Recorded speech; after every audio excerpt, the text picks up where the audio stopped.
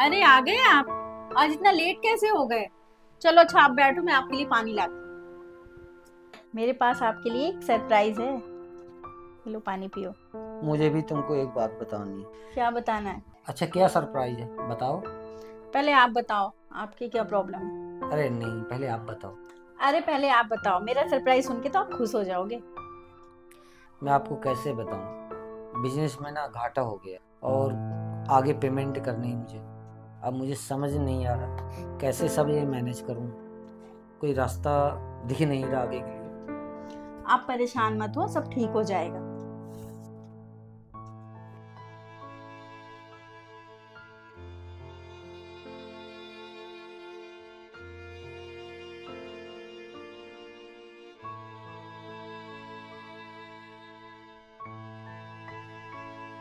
तो बहुत सारे पैसे इकट्ठे हो गए हैं।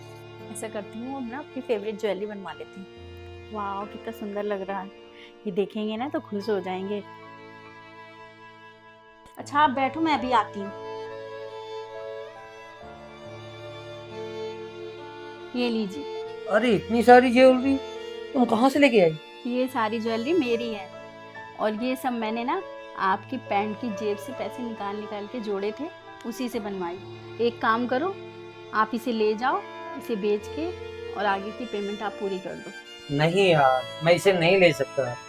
तुमने अपने लिए बनवाई है। मैं किसी तरह मैनेज करूँ। अरे यार इसे पकड़ो। जब आपके बिज़नेस में प्रॉफिट हो जाए ना तो इससे डबल मुझे दिला देना ठीक है ना? Thank you